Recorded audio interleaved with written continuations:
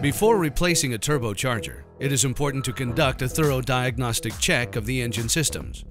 A lack of power, noisy operation, excessive smoke, or oil consumption could result from a faulty fuel injection system, restricted or blocked air filter, a damaged exhaust system, or a lubrication problem. Also, check the engine crankcase pressure. A higher than normal reading requires your immediate attention. For More information on this topic, please refer to our website.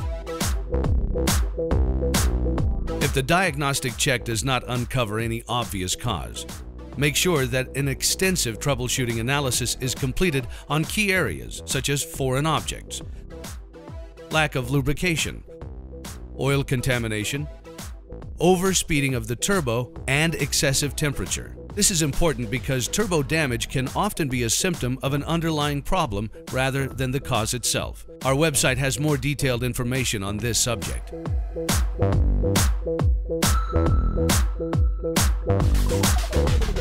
Next, check the part number to ensure that it is the right one for the engine. Installing the incorrect turbo to an engine may damage the turbo and or the engine and will void the warranty. Careful handling of the turbo is essential. Be aware that some are quite heavy. The proper way to take the turbo out of its box is to lift it by either end housing. Grabbing it by the actuator, rods, or hoses may result in severe damage. Similarly, allowing the turbo to roll around on a workbench may cause damage. The gearbox inside the electronic actuator may be damaged by impact, so additional care must be taken.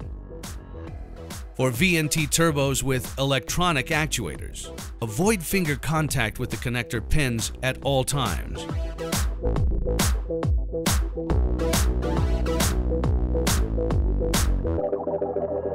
It is also recommended that you use new air, oil, and fuel filters and clean engine oil according to the engine or vehicle manufacturer's specification as part of the turbo replacement installation.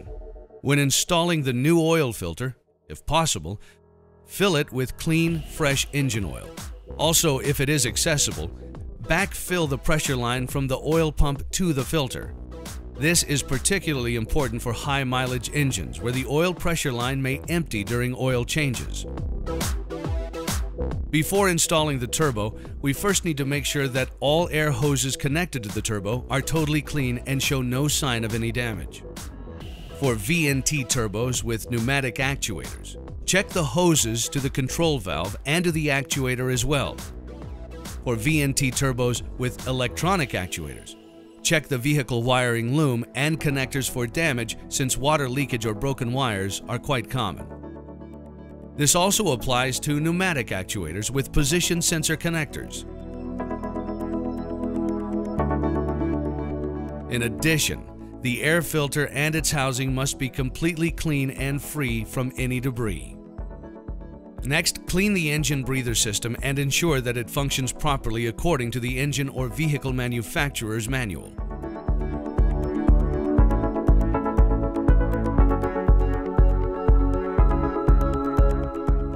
For any turbo installation, the following rules must be strictly followed. Please do not change any of the settings or the calibration of a turbo. Doing so may damage the turbo or the engine and voids the warranty. For VNT turbos, do not adjust minimum vane open position under any circumstances.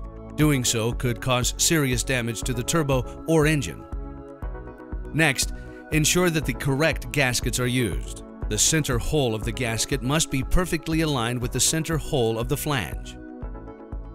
We do not recommend using liquid gasket or sealants, particularly for the oil inlet or outlet, since excessive material may enter the turbo reducing or stopping oil flow. For information on oil torques and installation details, always refer to the engine or vehicle manufacturer's manual for correct information. A modern turbo is highly sophisticated and runs at high speed. It is important that during the whole process, you prevent dirt or debris from entering any part of the turbo to avoid catastrophic damage.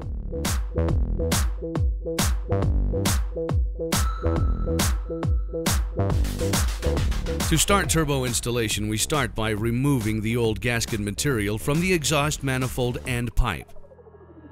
The surfaces of the flange must be clean and have no damage. Then, remove all plastic or foam blanking plugs from the turbo. Now you can position the turbo under the manifold or the engine block using the correct new gasket or O-ring. And then, reconnect the exhaust pipe. Tighten all nuts and bolts to the correct torque. Pay special attention to the oil feed and drain lines, which must be totally clean and have no damage to ensure unrestricted oil flow. Make sure that no flexible hose liners have collapsed internally and that the oil feed line is not too close to any source of heat, which may have damaged the oil feed line internally. This is common on some vehicles and difficult to detect without cutting the pipe we recommend fitting a new oil inlet pipe when installing the new turbo.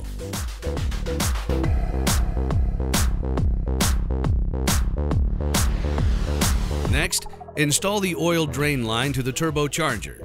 Then, pour new engine oil into the oil inlet hole of the turbocharger and fit the oil feed line. Spin the compressor wheel by hand a few times.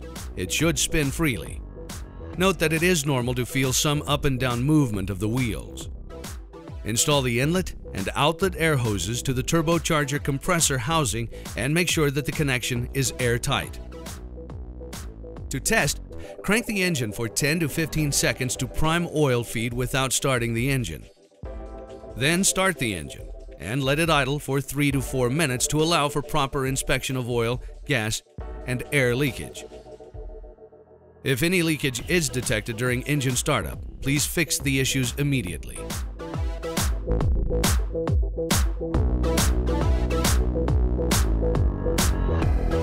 For VNT turbos, please ensure that the actuator operates correctly after startup. During vehicle key on and startup, it is normal for VNT turbos to show movement in the actuator, vane arm, and vane mechanism and it is also normal to hear a high-pitched noise from electric actuators.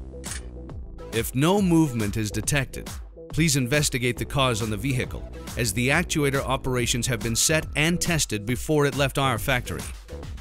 Important note, the gears in our electronic actuators are self-blocking. This means that it is not possible to move the actuator operating arm or the connecting rod manually. Attempting to move these parts with a tool or by hand may break the gears and make the turbo unusable. Damage of this sort is not covered by our warranty. Next, stop the engine and recheck the engine oil level. It is important to make sure that the oil level is between the minimum and maximum levels allowed. After your mechanic has properly installed your Garrett Turbo by following the correct steps, you can expect to enjoy the performance and reliability of your OE quality turbo for many years to come, while truly feeling the Garrett difference. To learn more about Garrett turbochargers, please visit our official website.